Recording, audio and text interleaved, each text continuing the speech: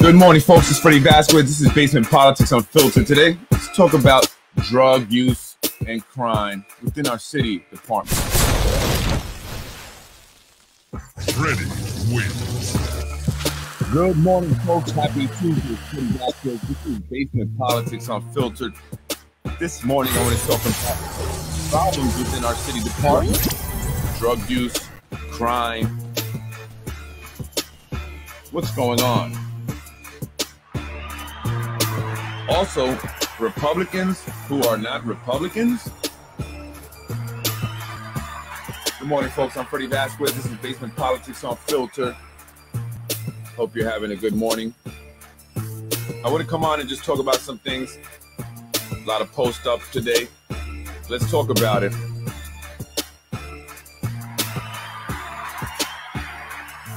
First of all, uh, I do want to mention that there will be a mayoral debate between uh, the incumbent Democrat Mike Spano and Anthony Merante. However, it's going to be virtual, so you have to register if you want to watch this debate. Now, I had a problem with that. Why is it going to be virtual and why not in person and on TV? You know, where people can watch it. Not everyone um, has uh, you know access to this stuff. Not everyone has Zoom. It's a Zoom thing. Not everyone is uh, savvy enough to get on it. So it's gonna you know keep a lot of people from watching it and i think that that's not okay i think it should be done uh, on tv it should be done live people should be able to go there um, you know so that's just hopefully we'll get to see a debate in person. But anyway folks i want to talk about dpw uh, and the employees uh, you know situation that's going down. I'm voting new people. Yeah we need to vote new people for sure. It's time for change and this is one of the reasons. Drug use in the dpw uh, you know I have been receiving a lot of messages. I received a lot of uh, phone calls um, from employees, current employees, former employees who have spoken to me about the rampant drug use in uh, the city of Yonkers among city employees, uh, particularly DPW, right? And they're saying not only are people using drugs within DPW, but there's also drugs being dealt within DPW. Uh, employees have told me of instances where individuals were high on drugs, driving city vehicles, damaging property, damaging the vehicles. Some employees have been found slumped over in their city vehicles, high on drugs. Some have crashed and hurt other people. And there have been city employees who have crashed and killed people, whether on drugs or under the influence of alcohol. I mean, from, you know, DPW guys to even a police officer have had these situations happen. And why is it still going on? Why hasn't there been some full, thorough investigation into our city departments to find out what's going on there with this drug use? Uh, it's making it impossible for most employees to work. They don't want to work with a lot of these individuals. And the problem is, is that a lot of these individuals are connected, they are protected.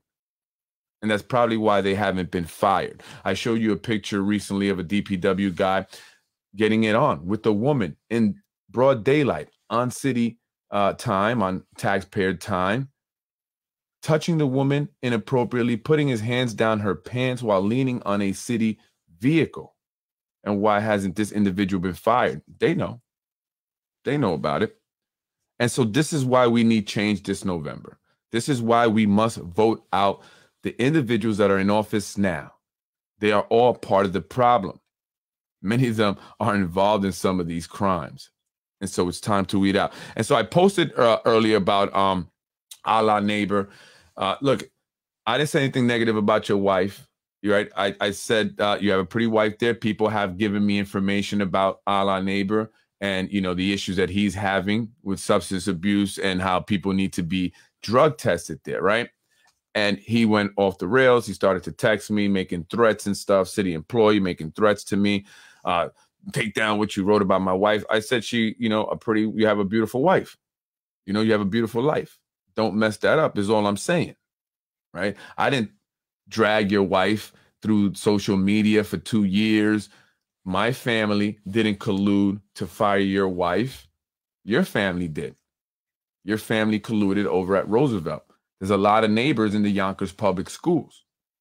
And at Roosevelt, there was an assistant who was now promoted to a principal neighbor, and there was a, an assistant teacher neighbor who made the comment to a student that my wife, an assistant principal, and her boss, her passes were no longer valid. So why would a neighbor say this to a student about my wife's passes? They're no longer valid. She's an assistant principal. She's your supervisor. They're more valid than yours. But obviously, she knew that they were trying to fire her. But they screwed up because the first evaluation she got in February was an amazing evaluation. She was told by the principal there that they were looking to fire her and they were looking for anything negative on her to report. But he said, just keep doing what you're doing. You're doing a great job.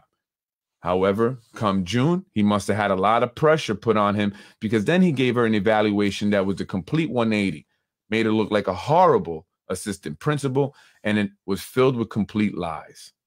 One uh, evaluation, the good one, said that she did a great job leading the planning meetings. But for whatever reason, the evaluation in June, where they recommended she be fired, said that she never attended any of the planning meetings. So, which one was it? Did she do a great job leading the planning meetings, or did she never attend the planning meetings? Which one was it, homie? And why didn't fire her? Because as soon as I heard about it, I got on the phone and I spoke to some people and I said, "This could get ugly. You guys fucked up."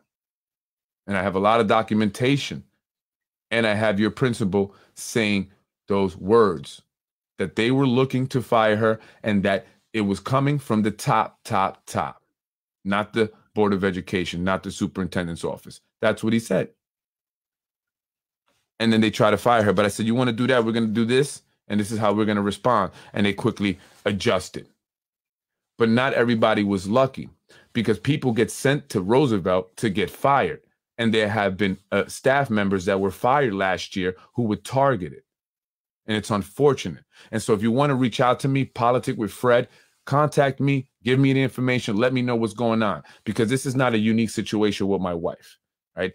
It happened to Jose Diaz, happened to Alberto Velasquez, the CSEA president, now he doesn't say anything about it because he's in a comfortable position. But they did the same thing to him. They transferred him to a situation where they were going to try to fire him because he was being vocal about what was going on between a principal and staff members at Enrico Fermi. This also happened to Anthony DiMaggio, who spoke out. This happened to other employees who have spoken out, who have reached out to me, but do not want to come out public. Some of them actually have legal cases going on currently against the city and against other uh, outside agencies who were brought in to try and destroy people's career. My wife worked hard, hard for this career.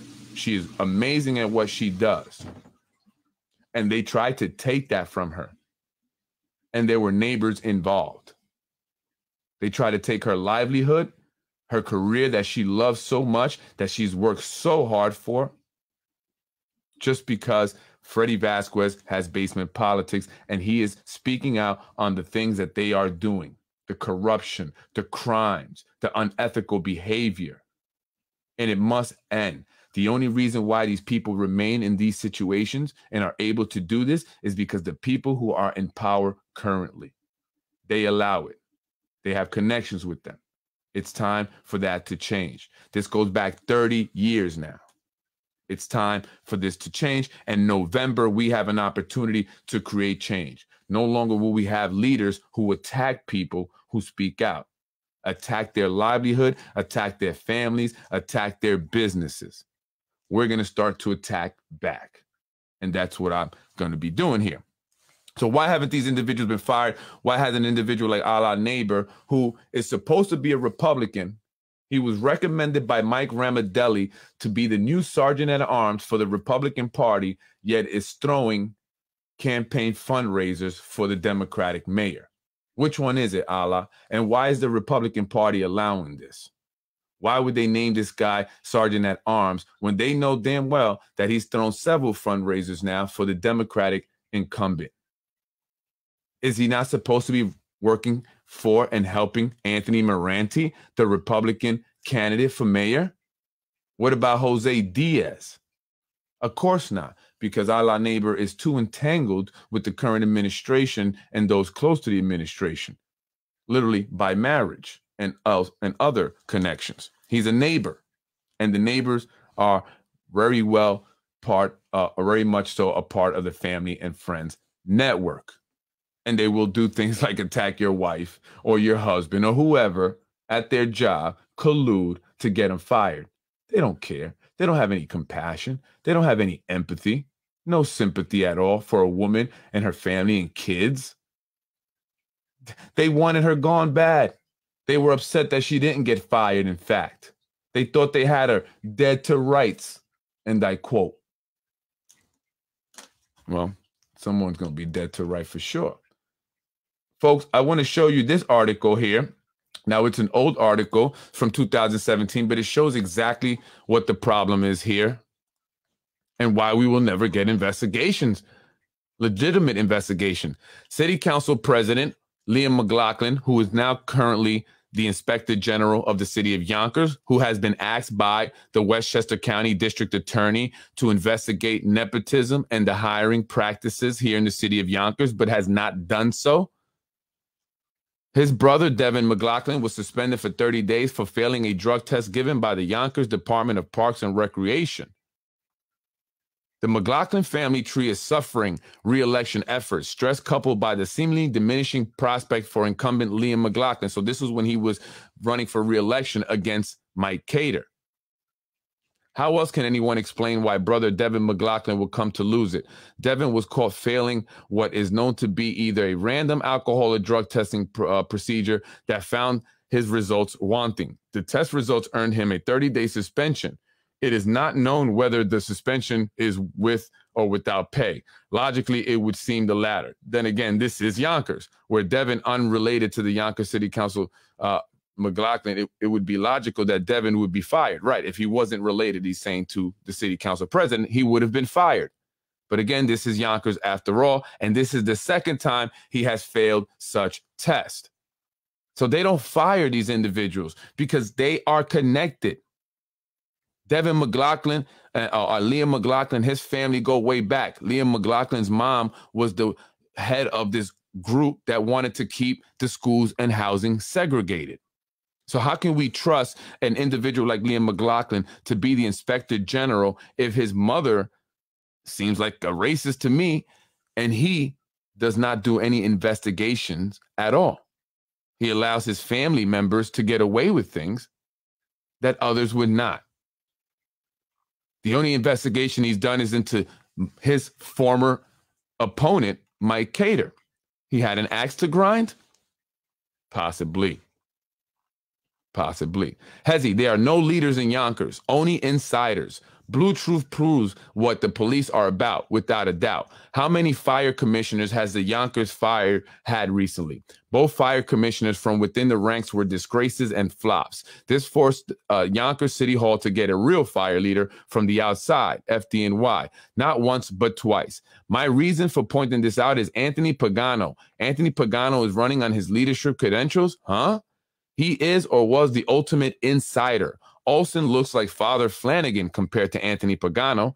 Anthony Pagano was a Spencer Amicone insider and ran the fire union and fire commissioner spot as an insider bully. So they talk about Freddie being the bully. These are the bullies. His reign was one of layoffs, de- demotions, and firehouse closings. Now the current fire union is desperate in desperation is backing him. Y'all better know the devil y'all know. You better y'all know the better the devil y'all know. I guess y'all know better the devil y'all know. That's what I say is evil. Too bad and very, very sad for us Yonkers taxpayers. Too bad and very, very sad for us Yonkers taxpayer. I and many, many others will be looking forward to voting for Anthony Merante. Folks, it's time for change. It's time for change. Nothing will happen. Yonkers continues to break many federal, state, and city laws. What else is new? I'm not particularly fond of Carrot Top in referring to Liam McLaughlin. As a matter of fact, I hope uh, never to lay eyes on him again for the remainder of my life. He is vile, despicable, lying piece of ish. And Kilo Khader is no better. They're referring to John Khader. Can't be any worse than we have now. At least Khader is independent and not beholden to anyone. Well, at one time, you know, there was the Zahi Jeris deal, right? People versus Devin McLaughlin. Reviewing the evidence in light of most favorable to the people, uh, we conclude that it was legally sufficient to establish that the defendant, with intent to disfigure another person seriously and permanently, caused such injury by repeatedly punching and kicking the victim, causing, among other things, a permanent and noticeable change in the shape of his face. So this is Devin McLaughlin when he beat some guy, and I heard he ran the guy over with his car, attempted murder. Yet and still, he was hired and he works for the city of Yonkers. You got to watch out for those DPW guys, right? You know, they may kill you. Uh, here, DPW was involved in the murder of former mayor Nicholas Wasicsko. And that's actually what happened. He was not, he did not commit suicide. He was murdered, point blank, period. Here are the specifics Class B and a Class D violent assault felonies. So he's not the only violent felon that works for the city of Yonkers. There's another individual that actually came to my house harassing me who works for the city of Yonkers. He works in City Hall. And according to someone that knows him very well, is a felon who committed a felony assault and served five years in jail. But he's not the only individual that works for the city that committed assault Another individual committed assault with a deadly weapon. He pistol whipped the wife of the owner of A&V Pizza on Morsemere while employed by DPW, went to jail for five years, is a felon, came back and got his job back. Why? Why, Yonkers? How does Tom Meyer, the head of DPW, allow this? Because that family is very well connected to City Hall. And I've spoke about that many times. Smells like weed 24-7, the Parks Department office or War Memorial. right? Hezzy, I know a few people that work for the parks that need to get tested. What should I do about this? But I don't want the word to go, go around town that I'm a snitch because I believe, and believe me, half the DPW and parks are under the influence these are people from the city of Yonkers, people that are scared to speak out publicly. They're telling you this, folks. We need to listen. We need to wake up and see what's happening in Yonkers. It is being destroyed, destroyed from within. He was driving under the influence I'm glad to know this guy was driving a Yonkers car under the influence. A lot of lives at risk that need to get out. It's true. And this is another problem. It puts residents at risk when these individuals are on drugs, driving city vehicles. Again, we have a 16 year old boy that was killed by a city employee. Another man injured on Central Avenue when the city employee, drunk and high on cocaine, crashed into his car after driving the wrong way a police officer crashed into a fire truck, killing himself. Another police officer getting into an accident under the influence. That was swept under the carpet. No one is fired except good people who speak out. And that's got to change. And by the way, Allah, remember when you were snitching on Brenton? So you do like to talk. You were snitching on Brenton Bullock when he worked over at the parks, and you were saying that he had COVID and he was the reason that everybody at the parks department got COVID and that he should be fired. Remember that? Instead, he was given a $92,000 position as the chief of staff for Tasha Diaz. The man barely works, but I hear that he gives Tasha a kickback of that money. Does he? That needs to be investigated, but Liam McLaughlin will never. Why should he be locked up? He committed a crime and went to prison for it. He paid his debt to society. What else does he need to do? Good people make bad choices. That's what they said about Stephen Dolan. Good people make bad choices, or good bad things happen to good people. Remember that? Get off your high horse. I'm sure you have made some mistakes in your life. These are the people defending them. This is a part of the small group of individuals. So, this is what is the problem here in Yonkers.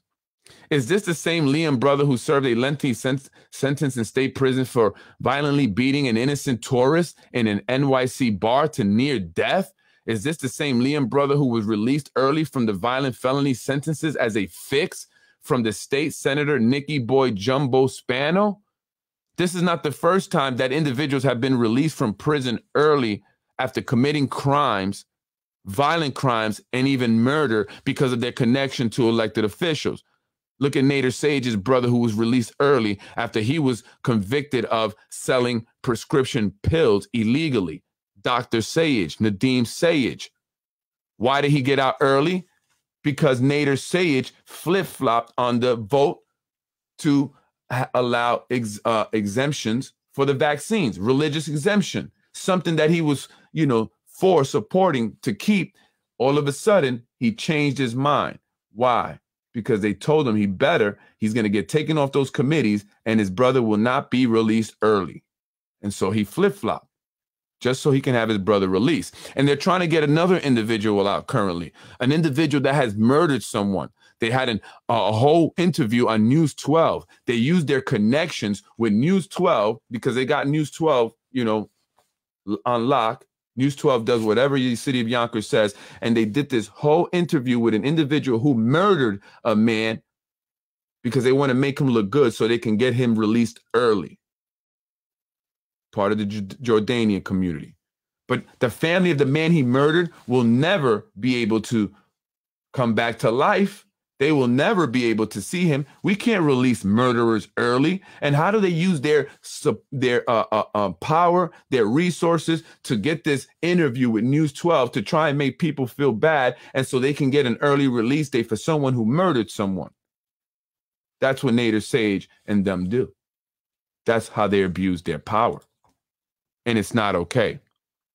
How come the Journal News doesn't inform the citizens of the city of the incredible stupidity and gross illegalities that occur in Yonkers at the hands of Spano, Spencer, McLaughlin, Martinelli? Fire him and fire his brother from public office. Exactly. Why doesn't the Journal News report this? Why doesn't David McKay speak on this? Instead, he's hanging out with his bow tie buddy, another convicted felon. David McKay Wilson, you're not a true investigative journalist. That's for sure.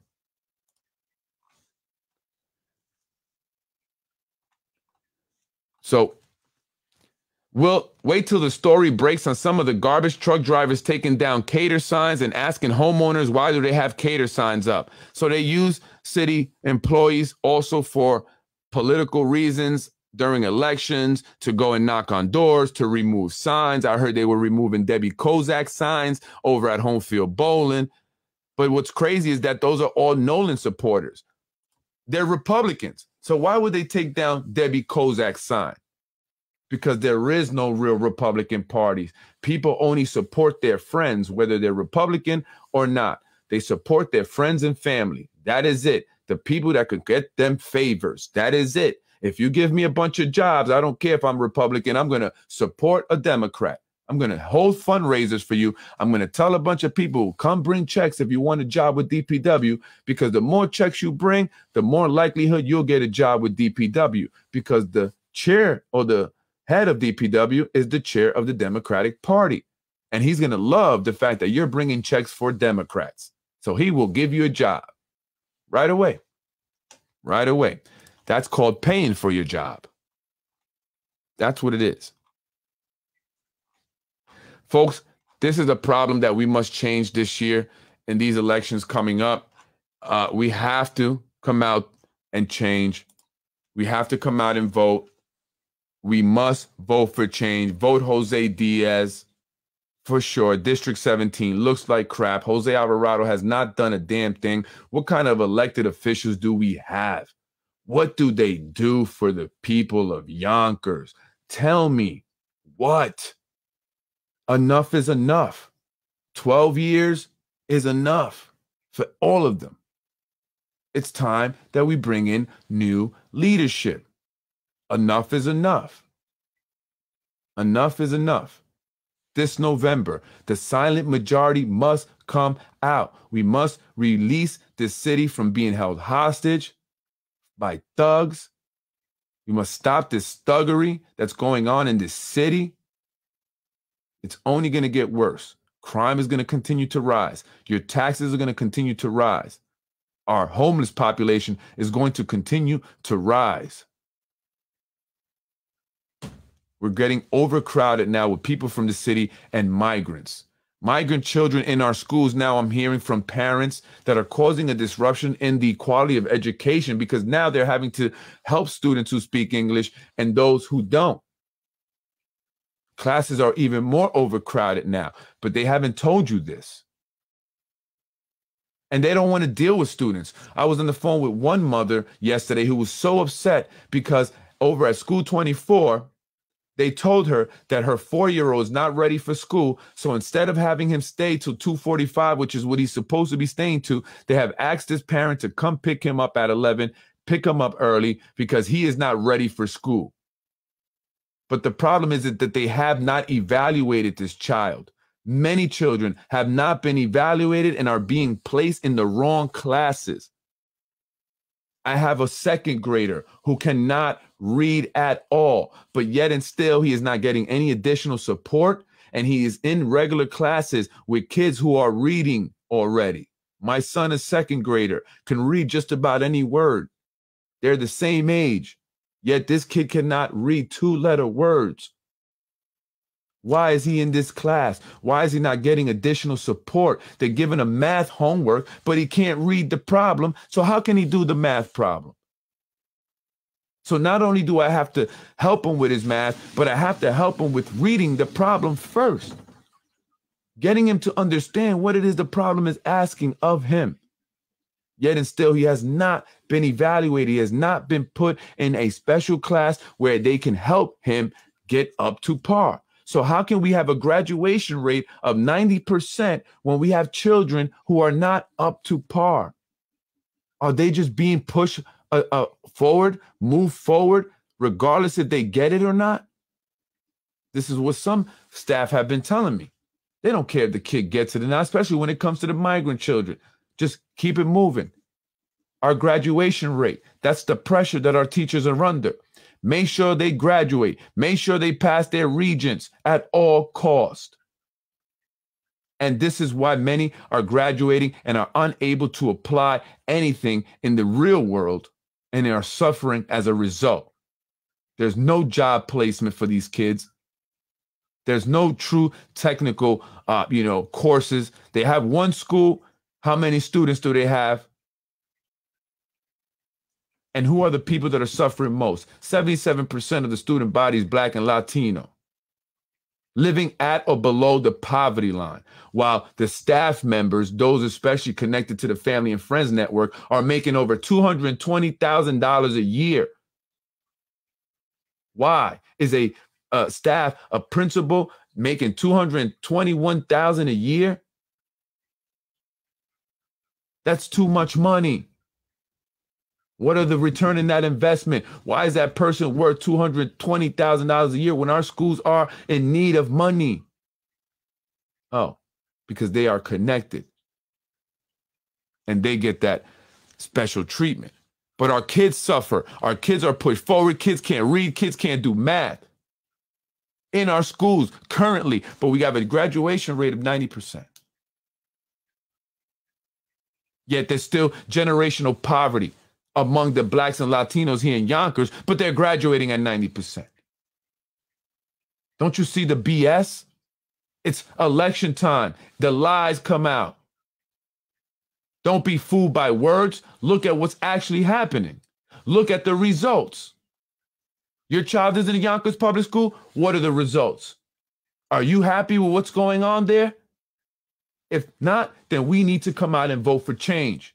That's the only way it's going to change in the schools. It's the only way it's going to change here in the city of Yonkers. We need change. We need change. These people have held the city for far too long hostage, mismanaged the money. And now they're trying to bring in all these developers and new people with higher incomes with hopes of saving this city from financial ruin because that's where we're headed. We can't afford those pensions of the people making 200,000, almost 300,000 a year. This city is headed for financial ruin. You got a bunch of dummies in the council that don't know which way is up. They lack any intelligence, any real true education. Maybe one or two, but then they're bought anyway. It's time for change. Do not vote the people that are in already because nothing will change that way. We have this opportunity in November. Enough. Drugs, crimes within our city. People can't get jobs because they save them for certain individuals who don't deserve them. This must change. We must get new leadership. And we must not allow that Nader Sayegh to become the school superintendent because he does not deserve the position. It's a political position and it's not going to be good for our overall school district. He will do whatever he is told. We do not want a 70 some year old man who has been corrupt, who has stolen from many of the grandparents of the kids that are in the public school currently. In the 90s, you were stealing money from your clients who didn't speak English, using your Puerto Rican secretary. I know the hustle. It's time for change. I'm tired of it. I'm tired of the nonsense. I'm tired of the lies. And I'm tired of the disgusting, evil people.